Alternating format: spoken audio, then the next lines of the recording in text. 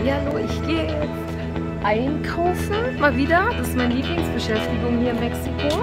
Und wollte euch mal ein bisschen die Straße zeigen. Und zwar da hinten ist eine Straße. Na okay, überall Straßen. Ah, ich bin schon wieder so ein bisschen verballert. Ich könnte ja auch mal da lang gehen, da bin ich noch nie lang gegangen. Moment, das zeige ich euch jetzt. Hier ist so ein Spielplatz. Genau da. Von da hinten komme ich. Und es wird langsam dunkel. Wie spät ist denn das jetzt? 18 Uhr noch was, glaube ich. Ey, es kommt mir immer vor, als hätten wir mitten in der Nacht, weil das so schnell dunkel hier wird immer in Mexiko. Das ist unglaublich. Also jetzt, weil Winter ist halt auch. Aber es kommt einem eigentlich nicht vor wie Winter, weil es halt übertrieben warm ist. So, sind wir hier? So sieht das hier alles aus. Leider ist die die Qualität der Kamera jetzt nicht so geil in dem Licht. So. Naja, ich laufe einfach mal mit euch hier ein bisschen rum. Ist immer so nah dran, ey. Scheiße, dass ich meinen Selfie-Stab nie dabei habe. So ist schon viel cooler. So.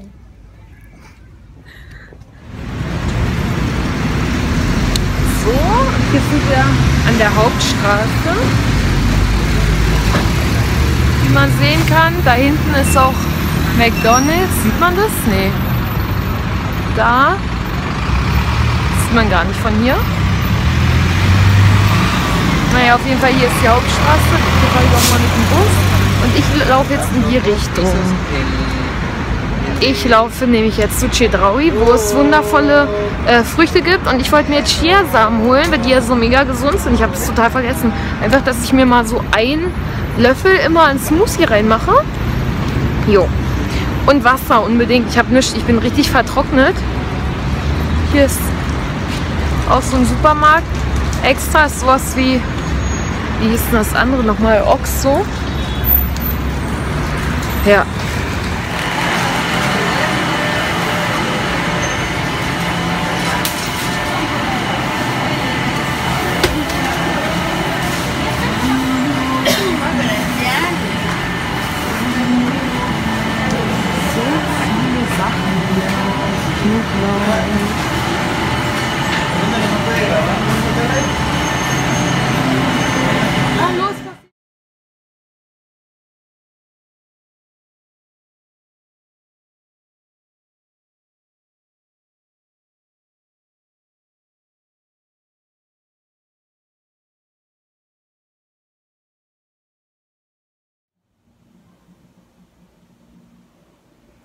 So, halli, hallo, mal wieder. ähm, ich habe mir überlegt, ähm, ich möchte euch heute erzählen, wie ich aufgehört habe zu rauchen. Jawohl, weil das passt ganz gut in mein Thema. Ich bin ja auch gerade wieder am Fasten und ähm, ja, ich will euch einfach mal sagen, dass das Aufhören zu rauchen eigentlich eine ganz leichte Sache ist. Es ist nämlich nur eine Entscheidung, die ihr treffen müsst und ähm, der Wille dahinter zählt natürlich. Ich will euch kurz meine Geschichte dazu erzählen. Und zwar, ähm, also ich bin 29 Jahre alt ne? und habe vor ungefähr fünf Monaten... So, hallihallo, wie geht's denn so? Ein neuer schöner Tag ist angebrochen und heute scheint auch endlich mal die Sonne. Ich werde euch nachher mal den Strand zeigen, wie es aussieht, wenn die Sonne scheint. Ihr werdet sehen, also ich hoffe, dass nicht so viele Algen da sind.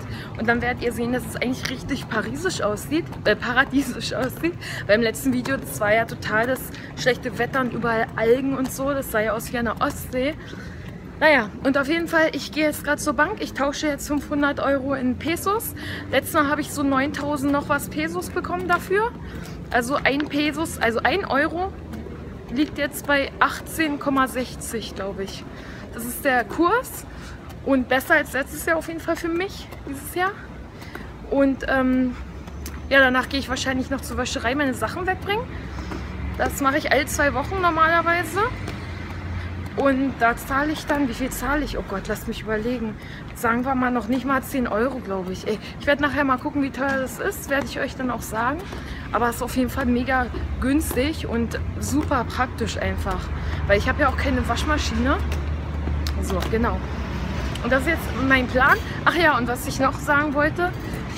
er hat mir geschrieben, ich habe euch ja erzählt, ähm, dass mein Typ da vom letzten Jahr, ähm, der war jetzt äh, an so einem Surfturnier und jetzt ist er wieder da und ist jetzt ähm, am Strand arbeiten. Er ist ja auch Rettungsschwimmer und ich bin total neugierig, wie das gleich wird, wenn ich ihn wiedersehe. Oh Gott, ey, scheiße. Ich schäme mich auch, Mann. Ich bin weiß und fett. Ich weiß gar nicht, der denkt sich wahrscheinlich, was will die überhaupt? Ich will die gar nicht sehen. Aber er hat mir geschrieben und hat gesagt, hey, ich bin äh, Playa Chuck Moll und wenn du Bock hast, dann kommst du da hin zum Begrüßen. Naja, nicht so, aber anders hat er gesagt. Hier geht's voll ab, immer voll die Mucke überall in den Läden. Ist gar nicht warm, Alter. Ja, laufen wir mal hier lang. Auf jeden Fall, heute ist richtig geiles Wetter und meine Mission ist heute einfach nur braun werden. Mal gucken, ob ich das hinkriege. Aber müsste eigentlich klappen. So, das hier ist übrigens was wie ein Zebrastreifen. Einfach rüberlaufen, aber aufpassen. Es könnte auch sein, dass die Autos sich überfahren wollen. Oh, ist das schön heute. Ist so krass, ey. Endlich mal geiles Wetter. Es war so lange nicht mehr so schön. Hier ist die Umgebung.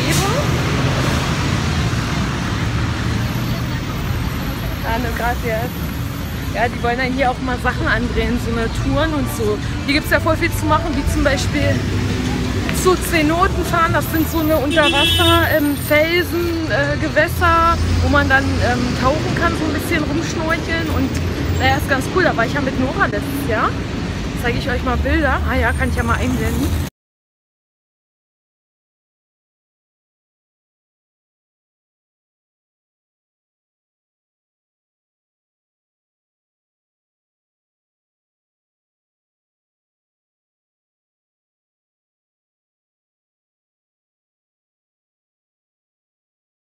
Und ähm, was gibt's noch? Oh, es gibt so viel. Es gibt ja die Pyramiden auch, die ich mir noch nicht angeguckt habe. Ich Esel. Ich habe mir fast nichts angeguckt, weil ich bin ja auch nicht hier zum Reisen, muss ich sagen. Ich bin ja jetzt wirklich, ich hatte zwar erst vor zu reisen, aber ich bin ja jetzt hier wieder zum Leben einfach nur. Einfach nur ähm, günstig leben, damit ich mit meinem gesparten Geld, was ich euch gesagt habe, ich hatte 5000 Euro gespart, damit ich da drei Monate hier leben kann. Und ähm, davon habe ich aber auch schon zwei Riesen ausgegeben. Also seht ihr ja, was da übrig bleibt. Und ich kriege dann wieder das nächste Geld in der Schweiz, also nach der Schweiz. Und ich gehe am 12. Januar bis zum 10. Februar in die Schweiz und dann verdiene ich wieder so viel oder kann so viel sparen, was ich in dreieinhalb Monaten auf Mallorca gespart habe. So, ich bin jetzt bei der Bank Santander und ähm, genau, die gibt es auch auf Mallorca. Und da gehe ich jetzt rein und melde mich einfach später nochmal. Tschüssi. So, jetzt war ich gerade Geld wechseln, habe bekommen für 500 Euro 9300 und paar zerquetschte Pesos in der Bank. Jetzt gucke ich nachher nochmal, wie viel ich letztes Mal bekommen hatte für 500 Euro. Hatte ich nämlich schon mal ähm, getauscht. Also ich habe jetzt quasi 2000 Euro getauscht insgesamt. Und habe davon ja Miete und so schon bezahlt. Also ich bin eigentlich mit 100 Euro für eine Woche hingekommen ich glaube, ich gebe halt, ich weiß gar nicht, für was ich eigentlich Geld ausgebe. Eigentlich ist alles super günstig. Auf jeden Fall habe ich mir auch vorgenommen, ich werde mal aufschreiben, was ich so an Geld hier ausgebe für was. Und dann werde ich euch das später alles erzählen. Und dann, dass ihr zum Beispiel, wenn ihr auch sowas mal vorhabt, mal nach Mexiko zu gehen, dass ihr ungefähr wisst, wie teuer hier alles ist und so weiter. Das mache ich dann später, irgendwann am Ende oder so. Na gut, dann, äh, ich gehe jetzt kurz nach Hause, bringe die Kohle weg, weil ich keinen Bock habe, das mitzuschleppen. Und dann gehe ich zum Strand. Oh Gott, ich bin schon so aufgeregt. Scheiße. Was ich hier entdeckt habe, das wollte ich euch mal kurz zeigen. Ich habe mich gerade nämlich erschrocken. Auf einmal rennt der da los. Seht ihr den? Ein Leguan ist das. Guck mal. Oh, der steht da auch. Ob der mich beißen kann? Nee, ne? Beißen kann ich glaube ich nicht, aber wie er da steht. Der guckt. Hallo. Hola. Hola, ¿qué tal? Was los? ¿Qué pasa? ¿Qué haces? Was macht der da? Naja, egal, auf jeden Fall wollte ich euch den mal zeigen. Der ist schon sehr groß, muss ich sagen. Und der läuft hier einfach so über die Straße, ne? Na gut, ich gehe jetzt nach Hause. Ich bin ja immer noch auf dem Weg. Tschüssi. Obwohl, kann ich vielleicht noch näher rein? Ich habe ein bisschen... Nee, der, ich glaube, der mag das nicht. Der denkt erst, was macht die Alte da? Na gut, ich gehe jetzt so weiter. Tschüssi. So, ich habe jetzt mal nachgeguckt, um die Frage auch zu klären. Und zwar, letztens habe ich in der Wechselstube hier gewechselt. Und da habe ich für 500 Euro genau 9175 Pesos bekommen. Und heute habe ich auch nochmal 500 Euro gewechselt, aber bei der Bank. Und da habe ich bekommen 9325 Pesos. Das heißt, ein paar Pesos mehr, über 100 auf jeden Fall. 150, ne? Ja, 150 Pesos habe ich jetzt äh, mehr. Das sind, naja, das sind 7 Euro oder so, ne? Sage ich jetzt einfach mal. Auf jeden Fall, ich mache mir jetzt startklar. Ich habe hier mein Smoothie, übrigens heute. Das ist ein Liter Smoothie, was ich mir einfach mal gebe morgens. Und da ist drin ein Apfel, nee, gar nicht, zwei Äpfel und, weiß ich, ein paar Erdbeeren, sieben Erdbeeren oder so und ein bisschen Honigmelone. Ja, und das war's. Das mache ich dann durch den Mixer und dann ich, kommt da ein Liter raus. Das haue ich mir dann rein. Schmeckt übrigens sehr geil. Und äh, dann kann ich fit, vital in den Tag starten. Und wie gesagt, heute meine Mission Sonne tanken und braun werden. Hoffentlich ähm, erfolgreich, ja. Werden wir sehen. Ich werde euch auf jeden Fall davon berichten und den Strand mal filmen gleich, wenn die Sonne scheint. Ist bestimmt ganz schön heute am Strand. Ich fahre gleich zum Playa Chacmoy. Um eins will ich da sein, um halt Ulises dann da zu treffen. Und ich freue mich total und bin ganz gespannt schon. Na gut, ich berichte. Bis später. Tschüssi.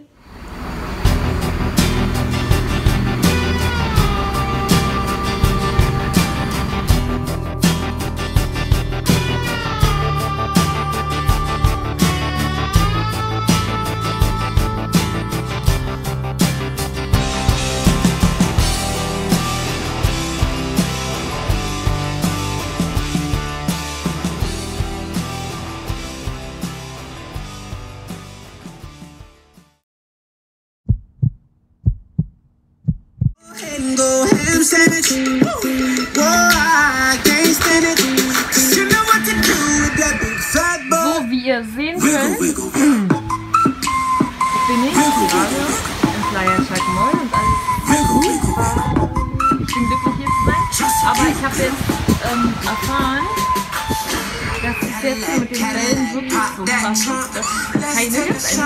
Es gibt keine Wellen. Und das ist. Ich habe das noch nie in meinem Leben so ruhig gesehen. Aber angeblich im November wieder los. Ich zeige euch mal den Vergleich. Ich blende gleich mal ein Bild ein, wo ich im März hier war, wie krass es einfach war. Jetzt sieht es eher so aus wie so ein karibischer Strand, ruhig, ne? Aber ähm, Ihr müsst mal sehen, wie das aussah März. So richtig geile Wellen, wo das Wasser richtig klar war, keine Algen am Start.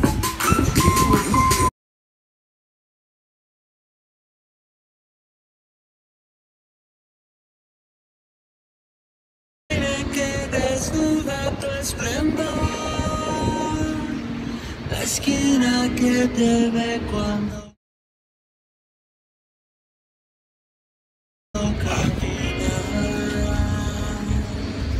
Nichts los, keine Menschen. Nur hay gente. Okay. er ist der Einzige. Yo soy una gente. I'm a person. ja gut, er ist eine Person, aber sonst ist hier echt nichts los. Wie man sehen kann, es ist ja der Platz, wo normalerweise äh, richtig Party und so geht. Aber wo ich das letzte Mal hier war, im Dezember, da war richtig viel los. Im, äh, im März, was da war ich im Dezember, im März. Und äh, genau, da gehen wir jetzt hin. Und ich freue mich einfach hier zu sein. Also, man sieht, es gibt Musik hier, aber. aber ähm, nicht so viele Leute, wie man sehen kann. Ich bin auf jeden Fall hier gerade auf dem Lifeguard-Turm und das sind meine Lifeguard-Freunde. No, gracias. und er auch. Hola. Hola. und das ist hier die Aussicht. Ist auf jeden Fall krass. Es ist wirklich so anders als im März, aber es ist schön. Das ist schon schön. Und es ist auch schön wieder hier zu sein. Das ist mein Stammplatz hier übrigens. Und wie nennt, man das eigentlich? Diese Türme hier und die chillen hier. Wir haben gleich Feierabend, dann gehen wir da hinten hin, geradeaus durch und dann kommt der Bus und nimmt uns mit sozusagen. Alex. Hola. ah, super Leute. Ich liebe diese Jungs hier. Hola.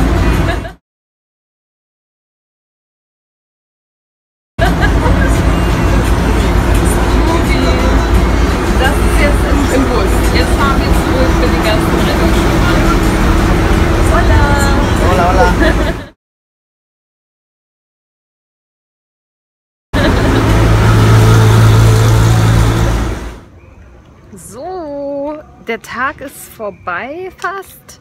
Es ist jetzt 7 Uhr. Ich war heute am Strand, wie ihr gesehen habt. Und äh, der Tag war einfach nur so, so cool, weil ich halt ähm, den Mann wieder gesehen habe, mit dem ich ja hier viel Zeit verbracht hatte, sage ich mal. Und das war richtig cool. Wir haben gechillt die ganze Zeit am Strand. Also er hat gearbeitet, aber es war gar nichts los am Strand. Das jetzt sieht es auch aus wie Karibik. Also vom Strand her. Weil das Wasser ist ruhig. Und was ist denn hier los? Ich zeige euch jetzt gleich mal was. Ah. Ah, hier ist wieder irgendeine Action. Ähm, und zwar. Naja, auf jeden Fall ist das Wasser total ruhig, es gibt keine Wellen. Ich habe heute auch endlich die anderen Lifeguards ja gesehen und so und habe mich mega gefreut und habe die dann auch alle, gefragt, was ist hier los am Strand. Der Strand sieht anders aus, es sind total viele Algen vorhanden, keine Wellen und die meinten halt, das kommt, also Ulysses meinte halt zu mir, das kommt im November ungefähr oder Oktober geht schon los. Und äh, das ist einfach kein Vergleich mit dem, wie ich das, äh, von dem, wie ich das kenne. Ist irgend so ein Straßen und so. Hier ist übrigens so ein kleiner Park, wo ich gerade entlang laufe. Und äh, ich, ach ja, ich gehe jetzt zur Wäsch Wäscherei. Und ähm, ich habe übrigens die Wäsche abgegeben. 60 Pesos habe ich bezahlt für so eine Tüte. Das sind 2 Euro oder was? Ne, 3. 3 Euro oder so. Das ist so geil. Das ist mega praktisch. Das habe ich mir auch richtig abgewöhnt, dass ich keine äh, Wäsche mehr selber wasche, sondern die einfach immer wegbringe. Weil es ist dann viel praktischer mit den ganzen bunt und weiß und schwarz und so. Zumal ich ja nie eine Waschmaschine habe, wenn ich irgendwo bin.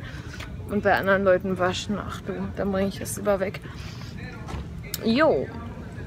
So, hier seht ihr übrigens hinten, will ich euch mal zeigen, da hinten ist so ein Platz. Habe ich glaube ich schon mal gefilmt irgendwann. Genau. Und hier ist auch meine Wäscherei gleich, also quasi eine Minute zu Fuß. Ich wohne hier wirklich zentral, hier ist alles in der Nähe. Hier sind auch Bars in der Nähe. Na, hier ist zum Beispiel auch eine Bar hier rechts. Ja.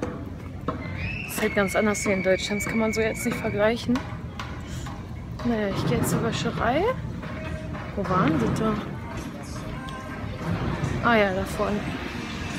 Ist auch so ein Restaurant. Genau. Hier auch, überall eigentlich so. Hier ist meine Wäscherei, seht ihr da, ne? Genau, da gehe ich jetzt rein, die Wäsche abholen. So, hier seht ihr auch mal ähm, den Plaza Las Palapas, wo ich wohne quasi.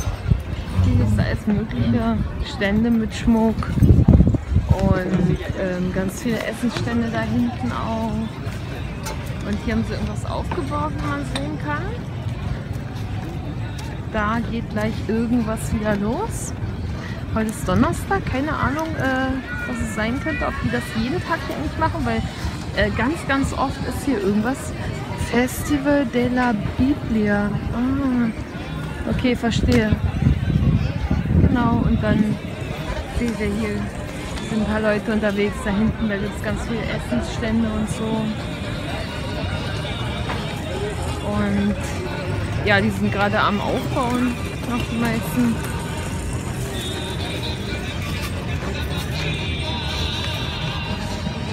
Das so typische mexikanische Musik, was gerade hier lief. Ist schon wieder weg. Genau, was gibt's hier so? Hier sind Statistiken, ich jetzt mal gucken. Hallöle! So, ich bin jetzt zu Hause angekommen, ähm, war gerade bei der Wäscherei meine Sachen holen. Hab ähm, übrigens für den Beutel, will ich euch mal zeigen. Das ist jetzt nicht so viel, geht aber, ne? Ist schon Unterwäsche drin von einer Woche. Von zehn Tagen, die ich jetzt hier bin. Ähm, Bettbezug und so. Und die falten das halt immer so schön. Das ist super geil. Und dafür habe ich jetzt bezahlt ähm, 60 Pesos. Das sind einfach mal 3 Euro ungefähr. Also gar nichts, richtig gut. Und die Wäscherei ist ähm, zu Fuß drei Minuten von mir. Ähm, ja, also der Tag war richtig, richtig schön heute. Ich bin mega glücklich, weil ich ja die ganze Zeit nicht wusste, wie es sein wird, wenn ich ihn wiedersehen werde. Es war echt schön. Also wir saßen dann da ewig, haben gechillt, dann sind wir später zum, ähm, zum Gaviota, zum anderen Strandabschnitt gegangen, weil da der Lifeguard-Bus uns dann abgeholt hat. Und ähm, da war dann der Alex noch und Alex ist so ein toller, toller Typ. Ich mag den so, der ist so lustig irgendwie. Er spricht halt nur Spanisch, finde ich aber auch gut, weil ich, ich muss mit ihm Spanisch sprechen. Da bin ich dann quasi gezwungen und da lerne ich auch mal viel bei. Weil wenn ich dann irgendwie irgendein Wort nicht weiß, und dann frage ich halt Ulises, sage ich, ey Ulises was? Dann übersetzt er kurz auf Englisch und dann ähm, kommunizieren wir so, aber ich gebe mir halt Mühe, dass ich alles verstehe, weil ähm, er selber ja kein Englisch spricht. Und wenn kein Ulysses mal da ist im Moment, dann muss ich halt irgendwie mit Händen und Füßen mich äh, mit ihm unterhalten. Ja, und ansonsten, was gibt's noch? Ah ja, Ulysses hat mir das Band hier gegeben. Seht ihr das? Ähm, von seinem Sponsor. Squalo. Ist sein Sponsor, weil er war ja da bei diesen Bodyboarden und ähm, da steht auch True Freedom drauf. Hashtag True Freedom. Finde ich geil. Und das hat er mir einfach umgemacht. Das fand ich total niedlich. Er hat mir letztes Mal auch schon dieses Band hier geschenkt. Das hatte ich ja auch mal getragen. Acapulco, weil er aus Acapulco kommt. Und ich freue mich einfach. Nee, ist echt schön. Ja, also was daraus so wird, weiß ich halt nicht, ne? Aber es ist auch nicht wichtig. Man muss nicht immer gleich in die Zukunft in 10 Millionen Jahren vorausschauen und ähm, einfach den Moment genießen, sage ich immer. Und äh, wenn man sich da nicht zu sehr reinsteigert und sich nicht so eine Gedanken und Sorgen macht, dann hat man eine schöne Zeit zusammen und dann ist das voll in Ordnung, sage ich mal so. Jo, was gibt's noch? Das Wetter war heute mal wieder schön, endlich mal wieder Sonnenschein. Richtig, richtig toll. Ähm, der Strand ist trotzdem noch seltsam, wie gesagt. Ich komme darauf einfach nicht klar, dass der Strand so so anders aussieht. Keine Wellen, voll viele Algen. Also für mich gar nicht mehr so, so unglaublich äh, krass schön. Ich meine, es ist jetzt schon Karibik-Style, es ist halt mehr wie im Playa del Carmen. Ich weiß nicht, vielleicht wart ihr schon mal im Playa del Carmen, einer von euch. Ähm, der Strand ist da halt auch ein bisschen anders. Und so finde ich, ist er jetzt so ähnlich. Obwohl im Playa del Carmen das Wasser noch dunkler ist, ne? noch mehr Algen da sind. Glaube ich. So habe ich das zumindest in Erinnerung. Ja. Okay, okay, es sieht aus wie im Knast hier, ne? wenn man die Tür da hinten sieht. Das ah, ich habe mich dran gewöhnt. Guck mal, mein Bett. Oh mein Gott. Ich komme mir auf, das ist auch wie so ein Knastzimmer hier. Das ist echt, echt crazy. Seht ihr, ne? Oh, fuck. Aber man könnte sich das gemütlich machen, wenn man hier ein paar Regale hinstellt und sich ein bisschen was einrichtet. Und ich habe heute auch meine Vermieterin gefragt. Ich habe gesagt, oh, mir fehlt da irgendwie ein paar Schubladen oder irgendwas, wo ich was draufstellen kann. Kann ich sein, dass ich alles auf dem Boden habe oder meinen Koffer. Und sie meinte, sie bringt mir noch was. Naja, das finde ich halt auch super nett. Wenn die das macht, dann bin ich sehr zufrieden schon mal. Und ansonsten bin ich eh sehr viel draußen und abends, wenn ich zu Hause bin, bin ich nur vorm Rechner und schneide irgendwas oder so. Von daher kriege ich das auch gar nicht mit, was dann in meiner Umgebung los ist. Und soweit fühle ich mich jetzt auch wohl. Okay, so viel zum Tag. Es war ein wunderschöner Tag. Morgen werde ich ähm, zum Playa Delfines gehen, weil da Ulises sein wird mit Mike und Alex. Und die Kombi ist einfach der Wahnsinn. Die sind so lustig. Das ist so lustig mit denen. Und ähm, naja, das wird toll. Darauf freue ich mich. Okidoki, tschüssi. Bis dann.